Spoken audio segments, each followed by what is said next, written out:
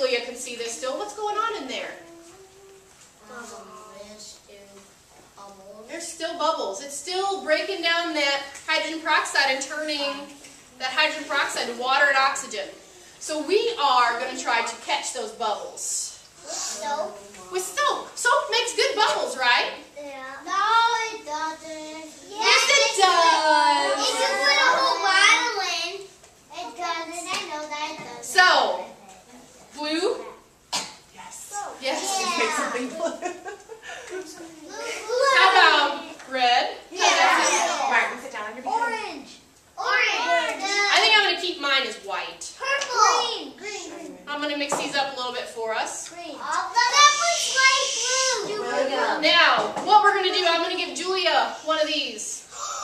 I'm going to give Tyler one of these, and Tyler, come stand on the other side of me here. What is that? This is called sodium iodide. And what this does, And it's in test tube. it isn't a test tube because I measured it out already. It's called a catalyst. Whoa, do you guys know what that word means? Uh, something for a word for sorting. No, not sorting. Do you know? Uh, Catalyst? Yes, because uh, it's because it's uh, you measured it and you know how much long you need the tube to be. That's pretty good. That sounds like calibrated. What a catalyst does, here you go, here's your science word for the day.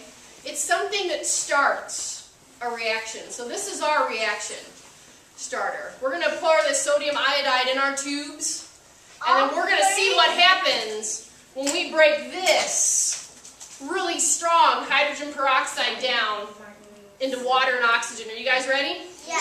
Okay, let's open our tubes. No. You may not drink it, no.